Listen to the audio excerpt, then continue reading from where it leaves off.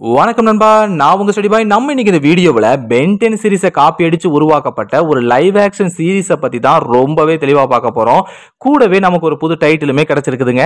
இப்படியுமா copy அடிப்பீங்க? அப்படின்னு சொல்லி அதுக்கு வந்து பேர் வச்சிருக்கோம். இந்த வீடியோவுக்கு நீங்க தர சப்போர்ட்டை வச்சு தான் இதோட part two part three part four அப்படி சொல்லி லைனாக வந்துகிட்டே இருக்கும். ஏன்னா அந்த அளவுக்கு கண்டென்ட் இருக்குது. அந்த அளவுக்கு நிறைய பேர் நம்ம பென்டென் சீரிஸை வந்து காப்பி அடிச்சு உருவாக்கி வச்சிருக்காங்க அப்படிங்கிறதான் உண்மை. ஸோ இந்த வீடியோவுக்கு நீங்கள் எவ்வளோ சப்போர்ட் பண்ணுறீங்களோ அதை வச்சு தான் உங்களுக்கு பார்ட் டூ பார்ட் த்ரீலாம் வரும் அப்படிங்கிறதான் உண்மை. ஸோ மறக்காம இந்த வீடியோவுக்கு ஒரு லைக்கை போட்டு விட்டுருங்க. ரொம்ப பேசிட்டனோ? சரி வாங்க டக்குன்னு வீடியோவை ஸ்டார்ட் பண்ணிடலாம். பென்டென் சீரிஸை பொறுத்த வரைக்கும் அது எந்த அளவுக்கு ஒரு ஃபேமஸான ஒரு சீரிஸ் அப்படிங்கிறது நம்ம எல்லாருக்குமே ரொம்ப நல்லாவே தெரியும். உலக அளவில் அது ரொம்பவே ஃபேமஸான ஒரு சீரிஸ் தான். அப்படிப்பட்ட இந்த சீரிஸை நிறைய பேர் காப்பி அடித்து அவங்களுக்கு பிடிச்ச மாதிரி புதுசு புதுசாக உருவாக்கி வச்சுருப்பாங்க. அப்படி காப்பி அடித்து உருவாக்கப்பட்ட ஒரு சீரிஸை பற்றி தான் இந்த வீடியோவில் நம்ம தெளிவாகவே பார்க்க போகிறோம் அதுவும் சாதாரண சீரிஸ் கிடையாதுங்க. ஒரு லைவ் ஆக்ஷன் சீரிஸாக அதை வந்து உருவாக்கி வச்சுருப்பாங்க. நம்ம Ben Ten கிரியேட்டர்ஸே Ben Ten race seconds time அப்புறம் பென்டென் ஏலியன் சுவாம் அப்படின்னு சொல்லி ரெண்டு லைவ் ஆக்ஷன் மூவியை உருவாக்கி வச்சிருப்பாங்க. ஆனால் அது சொல்லிக்கிற மாதிரியே இருந்திருக்காது. கொஞ்சம் கேவலமாக தான் இருந்திருக்கும். அதாவது சீரிஸை பார்த்தோம் அப்படின்னா வேற லெவலில் ரொம்பவே மாசா இருந்திருக்கும். ஆனால் இதை பார்க்கும்போது கொஞ்சம் தமாசா தான் காட்டியிருப்பாங்க. அதில் ஏலியன் ஸ்வாம் வந்து கொஞ்சம் பரவாயில்ல. ரேஸ் செகண்ட்ஸ் டைம் வந்து நான் சின்ன பிள்ளையா இருக்கும்போது பார்க்கும்போது ரொம்ப நல்லா இருந்துச்சு. ஆனால் இப்போ அதையே திருப்பி பார்க்கும்போது என்னடா இப்படியே நம்மளை ஏமாற்றி வச்சிருக்காங்க? அப்படின்னு சொல்லக்கூடிய அளவுக்கு தான் இருக்குது. ஸோ அந்த ரெண்டு லைவ் ஆக்ஷனுமே கொஞ்சம் சுமார் தான். அப்படி அவங்களே எடுக்கும்போது அதாவது கிரியேட்டர்ஸ் எடுக்கும்போதே அப்படி இருந்திருக்கு அப்படின்னா நீங்க யோசிச்சு பாருங்க இவங்க காப்பி அடிச்சு உருவாக்கி வச்சிருக்காங்க. அப்போ இவங்க எடுத்தது எந்த அளவுக்கு கேவலமா இருக்கும் அப்படிங்கிறத நான் உங்களுக்கு சொல்ல வேண்டிய தேவை கிடையாது. சரி இப்போ இந்த சீரிஸோட பேர் என்ன அப்படிங்கிறத பார்த்துருவோம். இந்த சீரிஸோட பேர் என்ன அப்படின்னு பார்த்தீங்கன்னா பென் செவன் சார் வடகரி? வடகரியாலும் தொடகரியாலும் போலாகுது என்ன அது? சார் சாப்பிடுங்க சார். அட பாவிகளா பேரை கூடயாடா அப்படியே காப்பி அடிப்பீங்க? அடிக்கிறது அடிக்கிறீங்க. கொஞ்சம் தெரியாத மாதிரி அடிங்கடா. அது என்னன்னா Ben seven Ben ten Ben seven அப்படின்னு சொல்லி அப்படியே வட காப்பி அடிச்சு வைப்பீங்க. கொஞ்சம் கூட யோசிக்காமல் அப்படியே தூக்கி வச்சுருக்காங்க. இந்த சீரிஸ் வந்து எங்கே உருவாக்கப்பட்டுச்சு அப்படின்னு பார்த்தீங்கன்னா இந்தோனேஷியாவில் உருவாக்கப்பட்ட ஒரு சீரிஸ் தான் இது. அது என்ன? பென் செவன் அப்படின்னு சொல்லி நமக்கு ஒரு சந்தேகம் வரும் இல்லையா? நமக்கு பென் டென் தெரியும். அது என்ன? பென் செவன் அப்படின்னு சொல்லி நமக்கு சந்தேகம் வரும். இந்த பேர் அவங்க வைக்கிறதுக்கு ஒரு காரணம் இருக்குது அது என்ன அப்படின்னு பார்த்தீங்கன்னா உங்களுக்கு புரிகிற மாதிரி நான் சொல்லணும் அப்படின்னா பென் டென் சீரிஸில் பென்னுக்கு ஆம்னிட்ரிக்ஸ் கிடைக்கும் போது அவருக்கு வயசு என்ன அப்படின்னு பார்த்தீங்கன்னா பத்து. அதனால பென் டென் அப்படின்னு சொல்லி பேர் வச்சிருப்பாங்க. அது மட்டும் இல்லாமல் ஆம்னிட்ரிக்ஸில் வந்து பத்து ஏழியன் தான் ஆரம்பத்தில் அவருக்கு வந்து அன்லாக் ஆகிருக்கும் ஸோ அதுவும் இந்த பேர் வர்றதுக்கு ஒரு முக்கிய காரணமாக அமைஞ்சிருக்கும். அதே மாதிரி தாங்க இந்த லைவ் ஆக்ஷன் சீரீஸில் வரக்கூடிய பென்னுக்கும் பவர்ஸ் கிடைக்கும் போது அவருக்கு என்ன வயசு அப்படின்னு பார்த்தீங்கன்னா ஏழு. அது மட்டும் இல்லாமல் அவருக்கு எத்தனை பவர்ஸ் கிடைச்சது அப்படின்னு பார்த்தீங்கன்னா ஏழு. ஸோ பென் செவன் அப்படின்னு சொல்லி வச்சிருக்காங்க. என்ன ஒரு புத்திசாலித்தனம். சரி இந்த சீரிஸோட கதை என்ன? எப்படி நம்ம ஹீரோவுக்கு பவர்ஸ் கிடைச்சது அப்படிங்கிறத ரொம்பவே தெளிவாக பார்த்துடலாம் நம்ம ஹீரோவோட பேர் அதாவது முழு பேர் என்ன அப்படின்னு பார்த்தீங்கன்னா பென்யமின். அதாவது பெஞ்சமின் அப்படிங்கிற பேரை கொஞ்சமாக மாற்றி பென்யமின் அப்படின்னு சொல்லி வச்சுருக்காங்க. இந்த பையனோட வயசு என்ன அப்படின்னு பார்த்தீங்கன்னா ஏழு. இந்த பையனுக்கு பவர்ஸ் எங்கிருந்து கிடைச்சது அப்படின்னு பார்த்தீங்கன்னா புக்ஸ் வித்தவுட் லெட்டர்ஸ் அப்படிங்கிற அபூர்வ அறிவியல் ரகசியங்கள் கொண்ட புஸ்தகத்திலிருந்து தான் இவருக்கு வந்து இந்த பவர்ஸே கிடைச்சிருக்கும். அந்த புக்குக்குள்ள ஏதோ அமானுஷ சக்தி இருக்கு அப்படின்னு நினைச்சு நம்ம ஹீரோ என்ன செய்வார் அப்படின்னா அந்த புக்கை எப்படியாவது அழிச்சிடணும். மொத்தமாக அதை வந்து தீர்த்து கட்டிடணும் அப்படின்னு சொல்லி முடிவெடுத்து அதை ஃபர்ஸ்ட் மண்ணுக்குள்ள புதைச்சி வைப்பாரு. அதுக்கப்புறமா நெருப்பை வச்சு எரிச்சு பார்ப்பாரு. ஆனால் அதை வந்து ஒன்றுமே செய்ய முடியாது. அது அழிச்சிடலாம் அதை கிழிச்சிடலாம் சொல்லி என்னென்னமோ ட்ரை பண்ணுவார். ஆனால் அவரால் ஒன்றுமே செய்ய முடியாது. அந்த புக்குக்கு அழிவே இல்லை அப்படிங்கிறத வந்து தெளிவாக காட்டியிருப்பாங்க. இதில் காண்டான அந்த புக்கோட ஏழு பாதுகாவலர்கள் என்ன செய்வாங்க அப்படின்னா அந்த புக்குக்குள்ளேருந்து வெளியே வருவாங்க. அதாவது அந்த புக்குக்குள்ளேயே ஏழு பாதுகாவலர்கள் இருந்திருப்பாங்க. அவங்க அந்த புக்கை விட்டு வெளியே வந்து எங்களை யாரா கொலை பண்ண பார்க்குற? இன்னைக்கு உன்னை மர்டர் பண்ணாமல் விட மாட்டோம் அப்படின்னு சொல்லி நம்ம பென் செவனை வந்து கொல்ல ட்ரை பண்ணுறாங்க அந்த நேரம் பார்த்து அவரோட கையில் வந்து ஏழு அப்படிங்கிற சிம்பிள் வந்து தெரியுது. இதை பார்த்து அந்த ஏழு பாதுகாவலர்களும் அந்த பையனோட உடம்புக்குள்ளே புகு புகுந்துடுறாங்க. டோட்டலாக அந்த பென்யமினோட உடம்புக்குள்ளே இணைஞ்சிடுறாங்க. கூடவே அந்த பையனுக்கு வந்து ஒரு பெல்ட்டும் கிடைக்குது. ஒரு பவர்ஃபுல்லான பெல்ட்டும் கிடைக்குது.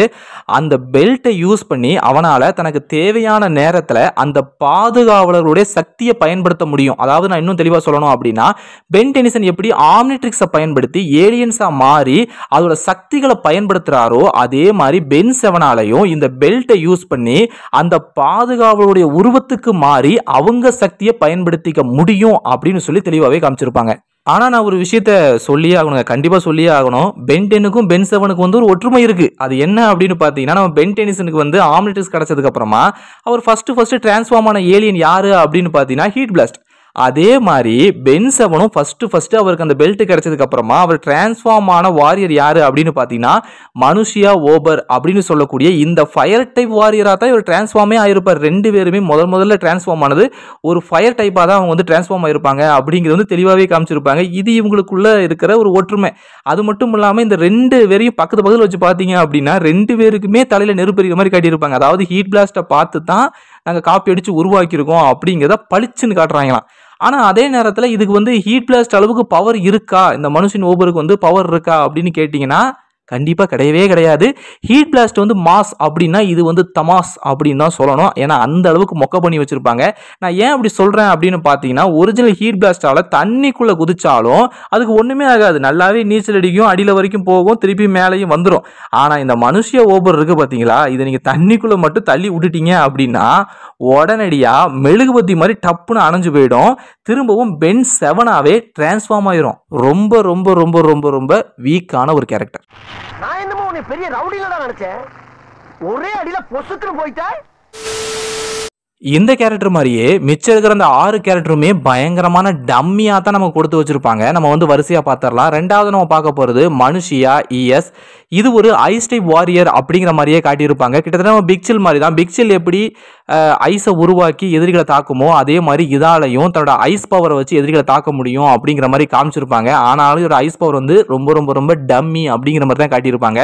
மூணாவது நம்ம பார்க்க போகிறது மனுஷியா லீலி. இது கிட்டத்தட்ட ஒரு பூச்சி மாதிரியான கேரக்டர் ஆனால் பட்ஜெட் ரொம்பவே கம்மியாக இருந்ததுனால சின்ன பையனுக்கு பூச்சி வேஷம் போட்டு நிற்க வச்சிருப்பாங்க. இதோட பவர்ஸை பற்றி சொல்லணும் அப்படின்னா இதோட மெயின் பவரே எலக்ட்ரிசிட்டி தான். தன்னோட உடம்புல இருந்து எலக்ட்ரிசிட்டியை உற்பத்தி பண்ணி அதை வச்சு இதால் இது எதிரியை தாக்க முடியும் அப்படிங்கிற மாதிரி காமிச்சிருப்பாங்க. ஆனால் அது அந்த அளவுக்கு எஃபெக்டாகவே இருக்காது. கொஞ்சம் காமெடியாக தான் அதை காட்டவே செஞ்சுருப்பாங்க. நாலாவது நம்ம பார்க்க போகிறது மனுஷியா படாய். இந்த கேரக்டரோட டிசைனை பார்த்த உடனே எல்லாரும் பளிச்சுன்னு கண்டுபிடிச்சிருவீங்க. நம்ம எக்ஸலரேட் இருக்கு பார்த்தீங்களா அதோட டிசைனை அப்படியே காப்பி பண்ணி இங்கே காப்பி பேஸ்ட் பண்ணியிருக்காங்க.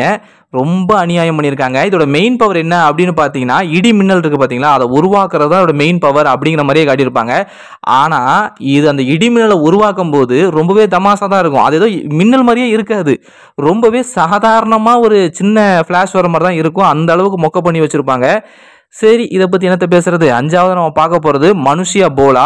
பென்டென் ஃபேன்ஸ் இதை பார்த்த உடனே கண்டிப்பாக கண்டுபிடிச்சிருவீங்க. அதுங்க வந்து எக்ஸலேட் எப்படி காப்பி அடித்தாங்களோ அதே மாதிரி இங்கே வந்து நம்ம வேபிக்கோட டிசைனை காப்பி அடித்து மனுஷியா போலா அப்படின்னு சொல்லி அவங்க வந்து உருவாக்கி வச்சுருப்பாங்க. இந்த e ஈ அடித்தான் காப்பின்னு சொல்லுவாங்கல்ல அதுதான் அது. அப்படியே காப்பி அடித்து வச்சுருப்பாங்க. ஆனால் நான் எதை வேணாலும் மன்னிச்சிருவாங்க. ஆனால் வேபிக்கு கெனன் போல்ட்டோட பவரை கொடுத்து வச்சுருப்பாங்க பாருங்கள் அதை மட்டும் என்னால் சத்தியமாக மன்னிக்கவே முடியாது. இவங்க காப்பி அடிக்கிறத கூட நம்ம வந்து ஓரளவுக்கு மன்னிச்சிடலாம். ஆனால் இந்த அளவுக்கு மொக்க பண்ணி வச்சிருக்கிறது தான் சத்தியமாக மன்னிக்கவே முடியல. சரி ஆறாவது நம்ம பார்க்க போகிறது மனுஷியா பூரன். இதோட மெயின் பவர் என்ன அப்படின்னு பார்த்தீங்கன்னா இதால் காற்றை கண்ட்ரோல் பண்ண முடியும். அது மட்டும் இல்லாமல் இதால் பறக்கவும் முடியும். தன்னோட ரெக்கைகளை வேகமாக அசைக்கிறதன் மூலமாக இதால் ஒரு மிகப்பெரிய சூறாவளியையே உருவாக்கி எதிரிகளை அதில் சிக்க வைக்க முடியும் அப்படிங்கிற மாதிரி காமிச்சிருப்பாங்க. ரொம்பவே பவர்ஃபுல்லாக தான் இந்த ஏலினை காமிச்சிருப்பாங்க. ஆனாலும் பார்க்க கொஞ்சம் டம்மி மாதிரி தான் இருக்குது. கட்ட கடைசியாக நம்ம பார்க்க போகிறது மனுஷியா பாட்டு பார்க்கறதுக்கு மார்வலில் வரக்கூடிய த திங் மாதிரியே இருக்கும். சந்தேகமே வேண்டாம். அங்கிருந்தா உஷார் பண்ணியே எடுத்திருக்காங்க. இதோட முக்கியமான பவரே ஸ்ட்ரென்த்து தான். எப்படி த திங்குக்கு ஸ்ட்ரென்த் ஒரு மெயின் பவராக இருக்கோ அதே மாதிரி இதுக்கும் ஸ்ட்ரென்த்து தான் மெயின் பவர் அப்படிங்கிற மாதிரியே தெளிவாக காட்டியிருப்பாங்க. உண்மையை சொல்லணும் அப்படின்னா இந்த ஒரே ஒரு வாரியர் தான் அந்த இடத்துலையே வந்து மொத்த பேரையும் சரிச்சிருக்கும் அப்படிங்கிற மாதிரி காமிச்சிருப்பாங்க. மற்றதெல்லாம் பயங்கர டம்மியாக தான் காமிச்சிருப்பாங்க. கிட்டத்தட்ட எல்லாருமே சேர்ந்து மற்ற எல்லா வாரிசும் தோக்கடிச்சிருப்பாங்க. இது ஒன்று மட்டும்தான் அவங்கள தோக்கடிக்கிற மாதிரி காட்டியிருப்பாங்க. ஸோ இந்த இவங்க கேங்லேயே இதுதான் கொஞ்சம் பவர்ஃபுல் அப்படிங்கிற மாதிரி காமிச்சிருப்பாங்க. ஸோ இதை ஓரளவுக்கு நம்ம வந்து சரி பவர்ஃபுல்லானது அப்படின்னு சொல்லி ஒத்துக்கலாம். இந்த ஏழு வாரியர்ஸோட பவர்ஸை வச்சு நம்ம பென் செவன் எப்படி வில்லங்களை தோக்கடிச்சாரு எப்படி நல்லவங்களை காப்பாத்தினாரு அப்படிங்கிறது தான் இந்த லைவ் ஆக்ஷன் சீரிஸோட கதையாகவே இருந்திருக்கும். இந்த லைவ் ஆக்ஷன் சீரிஸ் வந்து நல்லா இருக்கா இல்லையா? இந்த பென் செவன் எப்படி கொண்டு போயிருக்காங்க அப்படின்னு சொல்லி கேட்டிங்க அப்படின்னா என்னை பொறுத்த வரைக்கும் இந்த சீரிஸ் படு மொக்கைங்க. நல்லாவே இல்லை. தயவு செஞ்சு பாத்துறாதீங்க அப்படின்னு தான் நான் சொல்லுவேன். ஏன்னா பேசி பேசி பேசி பேசியே கழுத்து அறுத்துருப்பாங்க. அது மட்டும் இல்லாமல் கிராஃபிக்ஸ் வேற படு மொக்க. சுத்த சுத்தமாக நல்லா இருக்காது. நீங்கள் பா நீங்கள் வந்து பார்த்தீங்க அப்படின்னா அவர் வந்து வாரியர்ஸாக டிரான்ஸ்ஃபார்ம் ஆகும்போதே அதை பிளர் ஆக்கி ஒரு மாதிரி தான் காமிச்சிருப்பாங்க. நல்லாவே இருக்காது. பென்ட் என்ன காப்பி அடிக்கிறது தப்பே இல்லை. அதை ஒழுங்காக இவங்க காப்பி அடிச்சிருக்கலாம். எவ்வளவு ஒரு ஃபேமஸான ஒரு சீரீஸை காப்பி அடிக்கிறோம் அப்படிங்கிற ஒரு இது இல்லாமல் நம்ம சகட்ட மேனிக்கு காப்பி அடித்து மொக்க பண்ணி காட்டியிருப்பாங்க. என்னால் முடியலடா சாமி அப்படின்னு சொல்கிற அளவுக்கு தான் இருக்கும். ஸோ இவங்க காப்பி அடி கொஞ்சம் நல்லா காப்பி அடிச்சிருக்கலாம். ரொம்பவே மொக்க பண்ணி வச்சுருக்காங்க. அட்லீஸ்ட் இவங்க வந்து ஒரு அனிமேட்டடாக வந்து அதை வெளியே வெளியிட்டு இருந்திருக்கலாம் ஒரு வேலை நல்லா இருந்திருக்குமோ என்னவோ தெரியல. ஆனால் இதை லைவ் ஆக்ஷனாக நாங்கள் வந்து கொடுக்க போகிறோம் அப்படின்னு சொல்லி படு மொக்கையாக்கி வச்சுருக்காங்க. என்னை பொறுத்த வரைக்கும் சுத்தமாக நல்லாவே இல்லை. அவ்வளோதாங்க இந்த வீடியோவில் இந்த வீடியோ உங்களுக்கு பிடிச்சிருந்துச்சு அப்படின்னா மறக்காம ஒரு லைக் கொடுங்க.